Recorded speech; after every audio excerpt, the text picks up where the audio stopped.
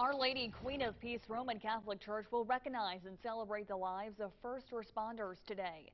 News 10's Danielle Johnson joins us live from there. She tells us about their gifts of appreciation. Danielle.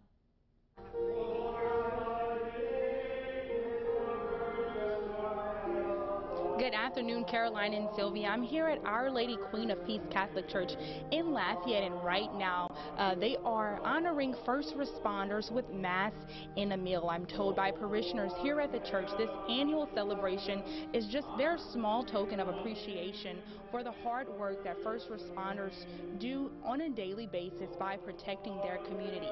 Now, I did speak to a few ladies who uh, prepared the meal before the event started. They talked about their it's their honor to serve the community, to serve those who serve them daily. Now, here in attendance at the event is the Lafayette City Police, Lafayette Parish Sheriff Deputies, the Louisiana State Troopers, Lafayette City Marshals, Lafayette Firefighters, and Acadian Ambulance. I talked to Mona Babineau, and again, as I mentioned, she says it's her job to serve those who serve her on a daily basis. They hold up the parish. They do a lot because without them, and honestly speaking, we would be lost.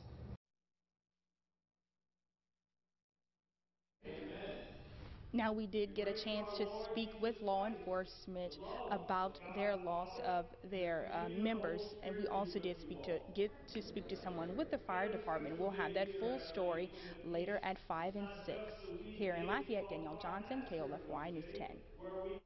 Thank you, Danielle.